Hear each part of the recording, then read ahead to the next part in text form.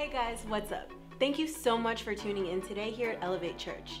We know that today's message is going to rock your world and elevate your life to the next level. So sit back, relax, and enjoy the message. And we're going to dis- dispel some fallacies about the local church.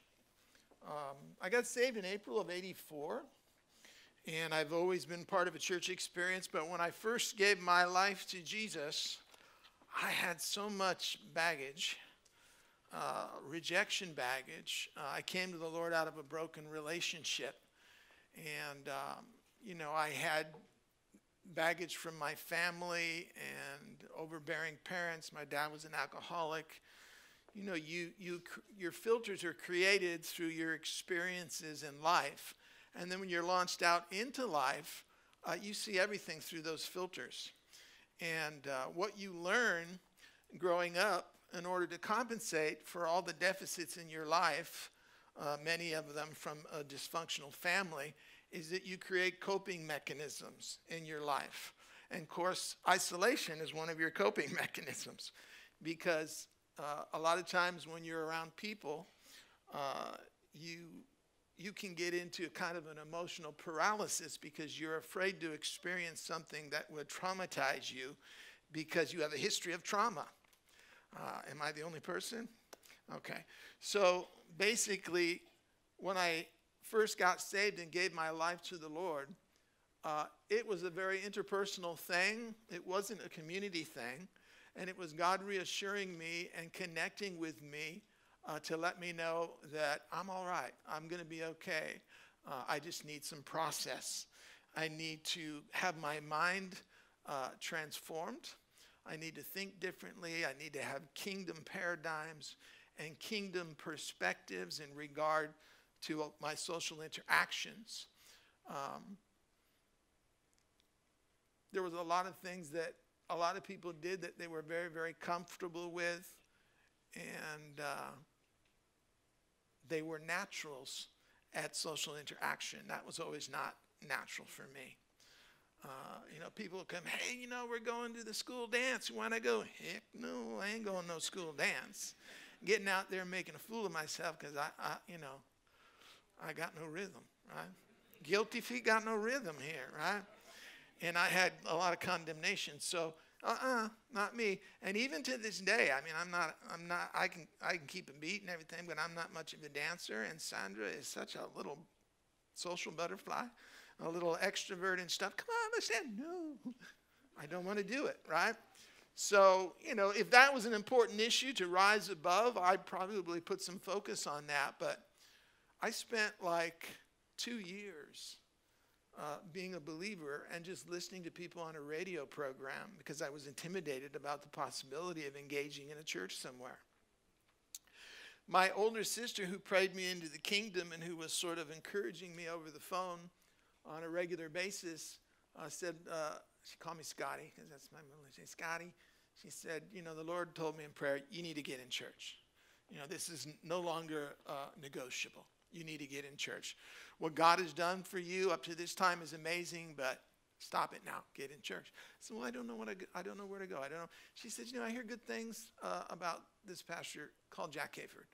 Uh, go to church on the way. It's in Van Nuys. Check it out, and you know, let's see what God says. Right. So I go to the church and I walk in, and uh, my guard's up. I'm in the tent, right, and uh, I get in there and, and I'm, it's big, it's huge, there's so many people. It's not like I got to learn to warm up to five people. There's like 1,500 people, and just that alone was ner- made me nervous, right?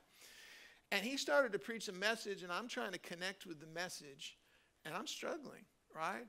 And uh, I was really uncomfortable with the experience. I, I, I felt I was perceptive in hearing from the Lord. I didn't really feel like I got anything. When I left church, I left with sort of a resolve that this, no, this, this isn't where God wants me. This is not for me. And I got in the car and I'm driving down the Hollywood freeway to go home and I'm dialoguing with God and I said, Lord, I don't think this is where I'm supposed to be because I didn't get anything. Now I said that out loud. I said, Lord, I didn't get anything. This isn't, I'm not going back. This isn't me. This will date me, but when I got home, uh, I walked in and I had the little Radio Shack blinking red light answer machine for my landline. And it was blinking, so I thought, I wonder who's calling me. So I pushed the button, and it was my sister. And she was moving in the, uh, the prophetic uh, at that time. And she said, You know, I was in prayer. The Lord spoke to me, and He told me to tell you. Now, this really happened. She said, He told me to tell you to go back to church on the way and go back with an attitude of what you can give and not what you can get. Because I, said out loud, I'm not, I didn't get anything. And God said, It ain't about you, right? I, I need you there because I want you to connect with believers, and, and I'm going to work with you there uh, through your processes. And that's when I realized that people are part of your process, right? And without process, there's no progress, right? And so if we isolate, we're not moving forward. We're in a state of arrested development. Uh, the Bible even says that those that isolate themselves, they rage against the truth. Uh, they're angry that God wants to deal with their stuff. And so, as long as they're uh, not having to deal with people, they feel pretty sanctified, right? But you don't, you don't know what work needs to be done until you're thrust into social interaction, and then you reveal the things that are in you that God wants to deal with. So, uh, I go to back to the church, and uh, I'm like, well, I'm I'm here because God said, you know, kind of thing. And then they invited uh, men to be involved in children's ministry, and they said, you know, we we have women that are always involving for children's ministry, but men never step up. It's like, come on, we need some guys to represent in children's ministry. So I'm thinking, well, that ain't me, you know. And then I'm looking at the table. They said, you know, see here after the service, she'll be over there, men, for you to sign up. So I figured, oh, well, there's going to be a bunch of guys over there. Huge church, right? She's just sitting over there by herself, and nobody's going over there. And I'm like, oh, God, I know what you're doing here. And I'm thinking, okay, you know, move to the need, right? Uh, you know, man up and obey God. So I go over there. They sign me up. I had a wonderful experience in children's ministry, three years uh, ministering to, from three, to, three to five year olds, which really prepared me for my three year old. But uh, the point being is they said, well, the criteria for being involved in children's naturally you have to do the background check, all that stuff. And I, I love that and I get that. And they said, but you got to be a partner in the ministry. So you got to go to the partnership class. So I go to the partnership class, and Pastor Jack is there. there's like 50 people that are partnering with the ministry, and he's he's sharing the vision of the church, and he's talking about what God wants to do, and and it was good. And then and we had a, like a covenant meal, and then uh, we broke bread together. He got around, loved on people, and uh, and then he said, "Come on." We're, we're in this together. We're all going to be made to drink into one spirit. We're going to take communion together. So I thought, cool. So we took communion, and uh, it, it, was wonderful to see Jack up close because in a large church, you know, he just looks very small from the back. Um, but here he was being real interpersonal with new people and stuff, and I love that about him. The following Sunday, I go to the service, and he starts preaching, and I am blown away about the revelation that's hitting me. And I'm thinking, oh my God, this guy's brilliant. How do you get so smart in just one week? Right? And then I realized, well, what God was downloading uh, to me in that moment was He said, you know, when you visit a church, you're not going to be impacted at the level that the people who are part of that family are going to be impacted because a lot of times God is flowing through the senior pastor to give revelation and encouragement to the people who are part of that family. And if you've not yet made a decision to be part of that family, you're not going to get the full impact of the anointing that's on the senior pastor. And when I saw that, and I realized that it wasn't until I covenanted and said, okay, I'm in, that all of a sudden I, be, I got new eyes, I got new ears. I began to see and hear things that I wasn't hearing before that was a great revelation for me. And ever since that experience, I've been involved in three churches in 30 years. Uh, and I've always uh, been all in at some level. Uh, what I mean is, you know, you can't do everything by yourself, but I, I found my place and I was faithful. Uh, there's a lot of people that have come to the church over the, my experience in watching people come and go in church. And uh, we realize that most of the time when people come to a church and they get involved, because they have to interact with people, um, there's always going to be in relationships the good, the bad, and the ugly. I don't care, it's, it's true on the job, it, it's true in the schools. Uh, wherever you go, you are confronted with uh, the demand to operate from the fruits of the Spirit. And those are challenged all the time. And uh, if you have rejection history, like I had rejection history, uh, you, those, those compensations, those counterfeit secret places are usually off in isolation somewhere. And like Pastor Virginia was sharing on Wednesday, you make excuses. Well, I connect with God in nature. You know, well, that's fine, but the whole world is dying around you. And while you're out fly fishing, people are going to hell, right? So maybe it's not just about you. Maybe it's about you allowing me to take you through process. Uh, the church is a wonderful place. It's a family. It's a hospital, right? Uh, it's, it's a party. It's a lot of fun, but it's also a refinery, right? Where God uh, works on uh, your identity. Uh, we start off with very serious identity issues. And out of identity issues, we don't think correctly. Uh, I'm sure I'm the only one that's had this experience, but let's say you have an identity struggle. Let's say you have a rejection history. And, uh, and so you come into a church scenario and uh, somebody makes a comment, and the enemy goes, Oh, this is what they mean by that comment. How dare they? Right? And then all of a sudden you get a little bit inflamed on the inside, but you're brassing it out on the outside, and you know. And then you go home, and for four days, you can't sleep over a comment that somebody made. And uh, so finally, you just well, I'm just going to give them a piece of my mind. I'm going to confront them. I'm going to get to the bottom of it. And you're all tweaked, right? And then you go up to them and you say, you know, I'm, could you go over that thing that you said about me again? Because I may have misunderstood. You said this, and this is the way I took it. And they grab you by the hand and go, I so sorry. That's not at all what I meant. I'm so sorry that you took it. That no, we love you. As a matter of fact, we were thinking about calling you and asking you if you would like to be a part of this ministry. And you go, you lying devil. you tweaked me out for four days over something that was fantasy because I saw it through my rejection filters, right? Now, how are you going to be able to dismantle those filters if you don't get in the game of social interaction and partnering and getting on a team and getting involved? And yes, there's going to be some rubbing, right? But rubbing reveals what God wants to talk to you about. Most of the time, we have a, a bad social situation. We want to go to God and say, Lord, you need to talk to that person over there. Did you hear what they said to me? I mean, you just need to straighten them out and this, that, and the other. You know, and I know that God talks to you about that person. He'll go, you know, well, that may have been wrong, but why is it touching you like this? Why are you reacting this? You know, I'm never going to stand with, with you against somebody that I died for.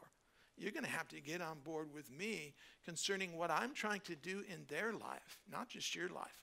And you're like, hmm. you know, you want revenge. You know, you want something, you know, you want them to be publicly corrected so you can gloat because you hurt me. Well, they may have not even meant to hurt you, or maybe God said, you know, I'm going to put some people in your life that are going to challenge your perceptions. I want to destroy your filters. And, and that's not always going to be a comfortable scenario, right? Put up the tree picture. I want to talk a little bit about that. so I'm, I'm praying in O'Melveny Park. It's a cool park for prayer. And uh, I'm walking and dialoguing with God a little bit, and I come around a corner, and I see this tree. Now, I'm a Hort major, so I, I'm fascinated by plant materials and the anomalies and all the stuff that go along with it. And God is always like, my kingdom's like this, my kingdom's like that, and showing me things in nature. And uh, so I come upon this sycamore tree, and I'm like, wow, what happened here?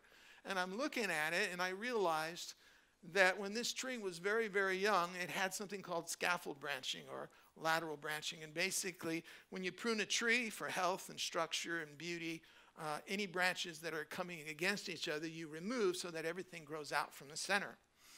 And uh, but if nobody pays attention to the tree, a lot of times you get scaffold branching, and if they never pay attention to the tree, it matures that way. And what had happened was the branches grew across each other, right?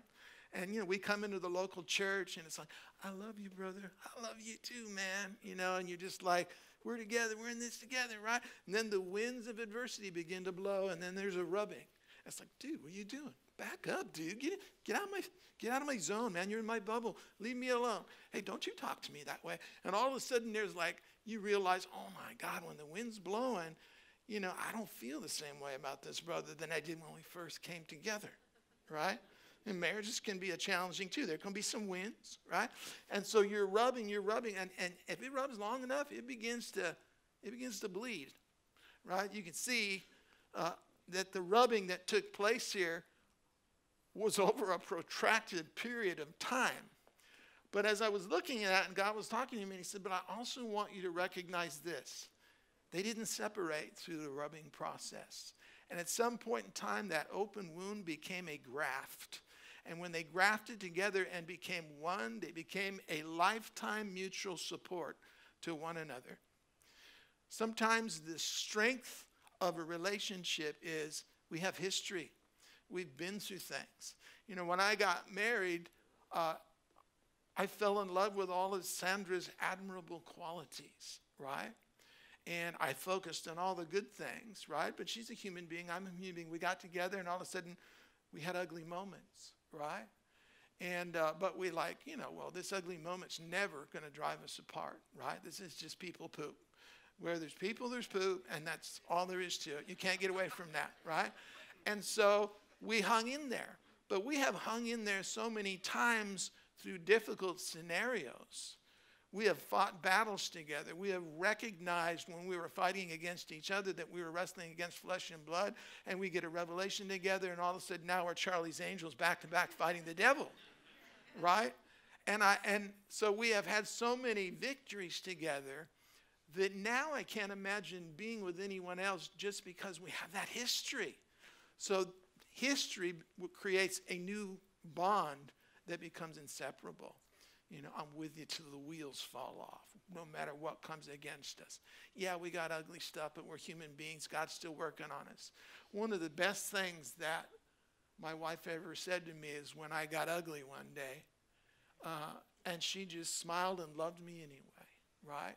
And I got really convicted. And, and at the end of the day, I said, you know, I'm really sorry. And I I had a flesh moment there. Do you forgive me? Said, Of course. I said, How come you're taking this so cool? And she says, she says, Look, I know you. And I know what's not you. That wasn't you. That was so refreshing for me that she could differentiate between the heart man and the flesh man, and that she fell in love with the heart man, right? But that takes time. And that happens in church setting, right? You need to move towards connecting with people on a heart level. So you can have a relationship with God and maybe not go to church for a little while. But if you really have a relationship with God, you have to admit to yourself that God is always trying to move you to community, right? That's his mission statement to gather all things together in one, in Christ, both in heaven and in earth. Unity was his idea.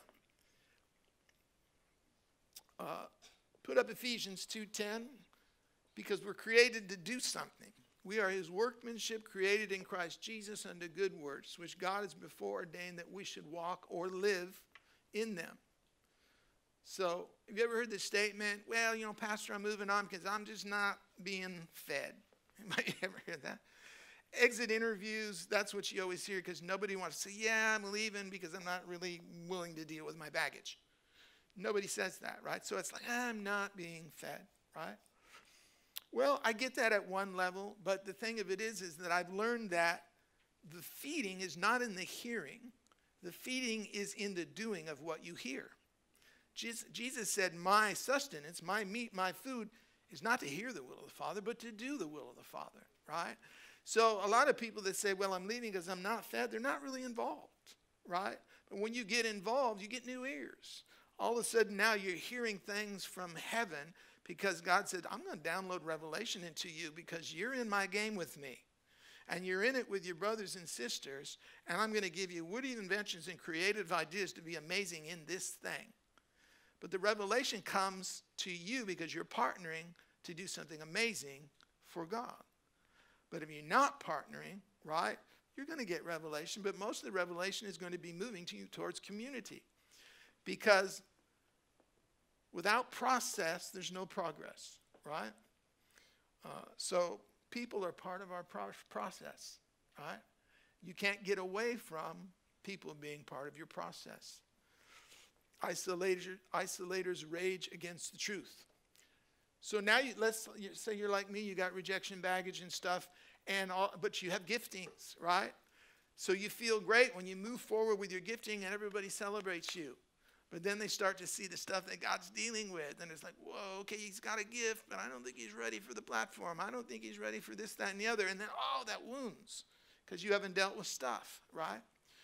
I'm a creative, and I, and I, and I think I'm pretty, I, I recognize that I'm a creative. I come up with great ideas. In 30 years, I've come up with a lot of cool stuff that we have implemented at the church. But creatives, they get a vision, right? And then when they share their vision, they want everybody to go, dude, that's awesome, let's just do it. But a lot of people say, well, yeah, I, I hear what you're saying. And then the refiner comes in. Yeah, but what's it going to cost? What the heck with the cost? It's going to be awesome because we don't think, because we're creative. Yeah, but it's not really practical. Or, you know, or how can we build a team for that?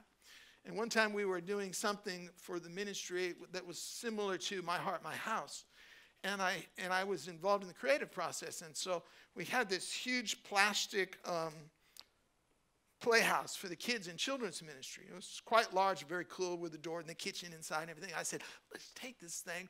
Put it into the lobby and suspend it from chains from the ceiling. When people come in, it's ah, my my house. It'll be awesome. People look, you know. And even when they leave, they'll think the house, the house, the house.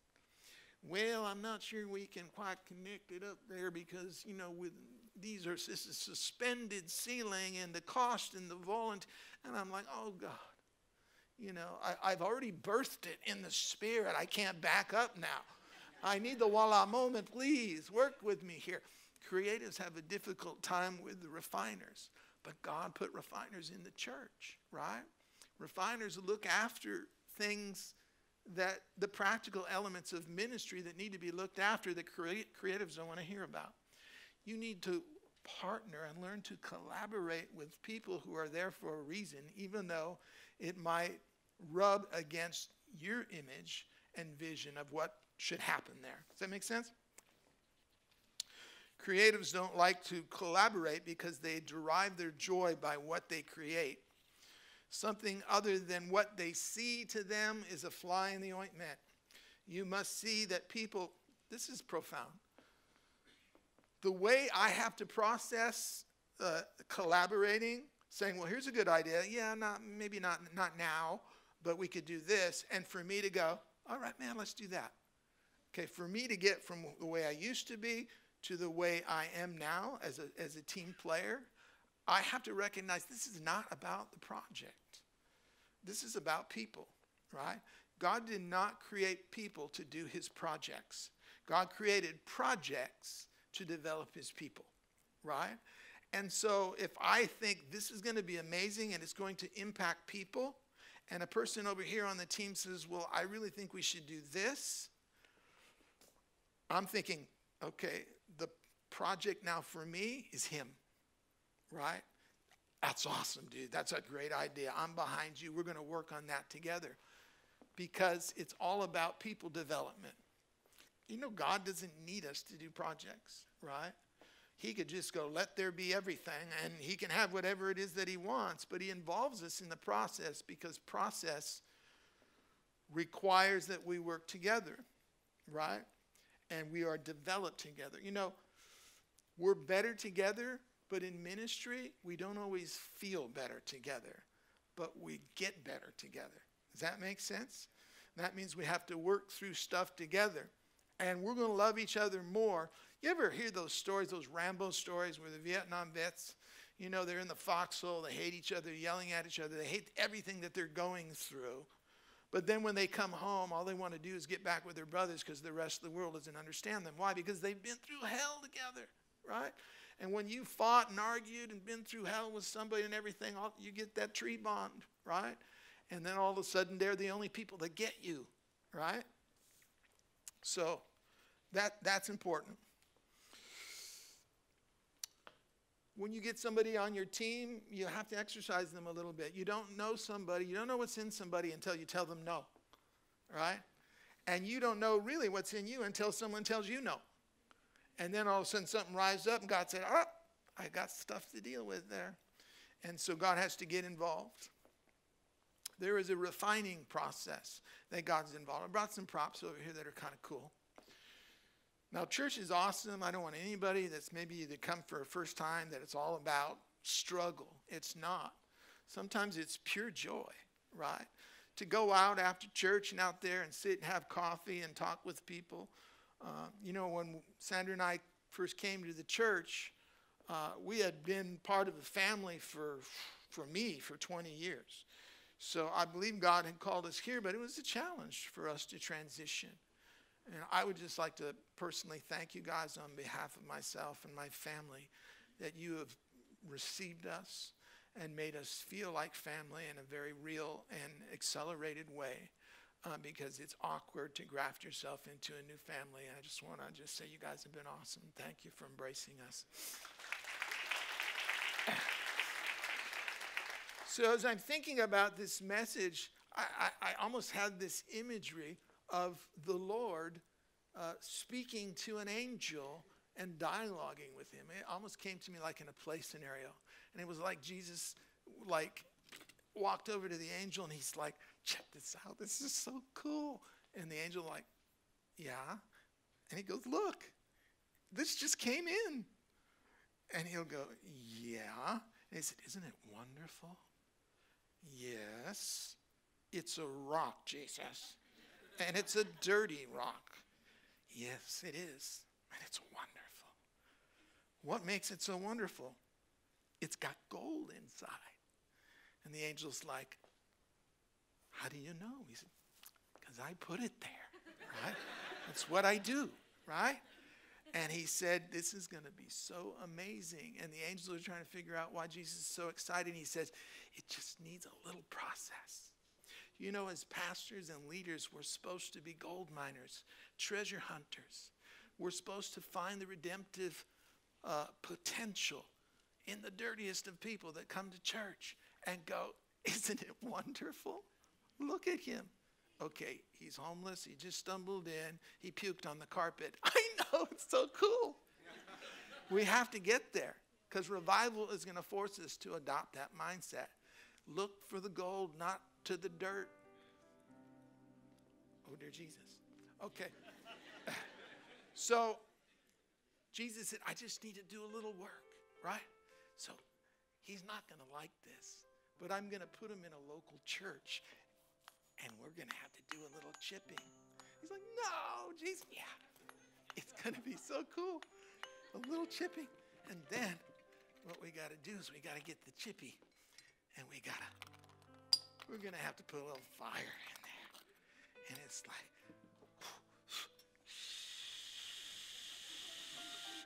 and then, and he's like, ah, no.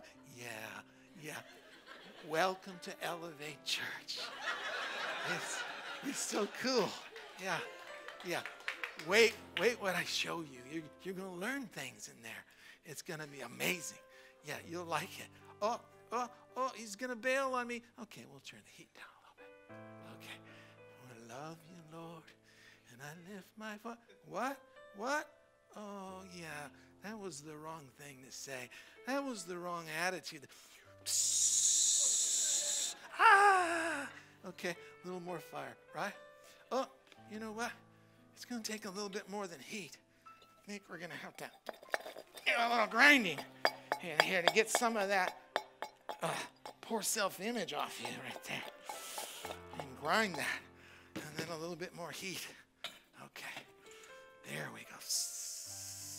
And the angel's watching the whole process going, wow, all that. Is it worth it? Oh, it's worth it, right? Because look, look, look. Look, isn't that beautiful? Yeah, that's what was inside that you didn't see, but I saw it. Redemptive potential. And then, and the angel said, Is that the end game? Oh, no, unfortunately not. He's going to have to go back a little bit. because the end game is a golden vessel that's meet for the master's use. Somebody who's been tried and tested in the fire and has been found incorruptible. No matter what the enemy throws at him, they keep a sweet spirit. They walk in love. They forgive. Those are the kind of people that I can trust to contain the level of glory that I have for them. They're crying out for glory, and I give them process. And they're like, No, you misunderstand. I want glory. I know. I know. But you can't handle my glory yet. But when I'm done with you, this is you right here. And you'll be able to contain the glory.